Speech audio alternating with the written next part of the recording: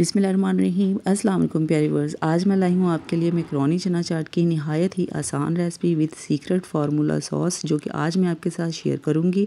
लेकिन उससे पहले अगर आप चैनल पर नए होते हैं तो प्लीज़ चैनल को सब्सक्राइब कर लिया करें, बेल नोटिफिकेशन भी ऑन कर लिया करें।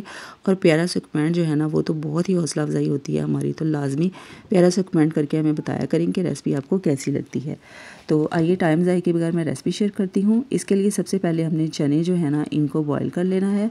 ये एक कप चने जो है थे ना, इनको मैंने रात को भिगो लिया था और सुबह इनको बॉयल कर लिया।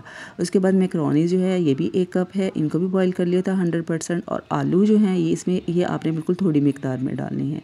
सब चीज़ों को बॉयल करके पहले से रख लेना है। उसके बाद यहाँ पर वेजिटेबल ली हैं, इनकी चॉप कटिंग कर लेनी है, जिसमें खीरे हैं, टमाटर हैं, प्याज हैं और बंद गोभी है और गाजरें हैं, ठीक है? यहाँ पर आपने ख्याल रखना है जो खीरे और टमाटर है ना, इनके बीज और इनका पल्प जो है ना, वो आपने निकाल लेना है, ठीक है? इनकी जस्ट स्किन हमने यूज़ करनी है।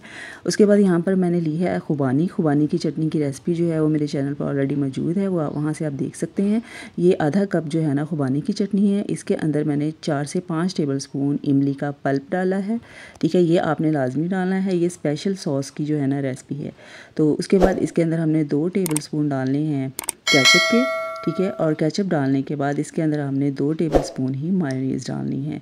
ये बहुत ही मज़ेदार और सीक्रेट जो है ना फार्मूला होता है जो रेस्टोरेंट वाले यूज़ करते हैं तो आप लाजमी इस तरीके से बनाइएगा। उसके बाद इसके अंदर हमने एक टेबल स्पून जो है ना चाट मसाला डाला है, हाफ़ टी स्पून लाल मिर्च पाउडर और हाफ़ टी स्पून ही नमक। इनको हमने अब कर लेना है अच्छी तरह से मिक्स।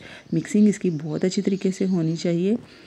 अच्छा यहाँ पर ना आपने ख्याल रखना है कि मेकरोनी और चने जो है ना, इनको आपने ठंडा, अच्छी तरह से ठंडा करके फिर डालना है सॉस के अंदर, ठीक है? अगर आप इसको नीम गर्म ही डाल देंगे ना तो जब वेजिटेबल डालेंगे तो वेजिटेबल जो है वो पानी छोड़ जाएँगी, लिहाजा इनको आपने ठंडा करके डालना है। अब सॉस को अच्छी तरह से हमने बिल्कुल रेडी कर लिया, अब इसके अंदर हम मैक्रोनी, चने और आलू डाल देंगे, उसके बाद हम इसके अंदर सारी वेजिटेबल डालेंगे, वन बाय वन। यहाँ पर मैं तीन लोगों की जो है ना, ये चाट की रेसिपी जो है, शेयर कर रही हूँ, आप अपनी मकदार, अपनी क्वान्टिटी के हिसाब से जो है ना, वो बना लीजिएगा।